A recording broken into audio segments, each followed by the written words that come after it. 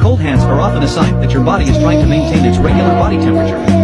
Always having cold hands, however, could mean there's a problem with Happy birthday, daughter of mine. I bought you a gift that is so divine. Thank you!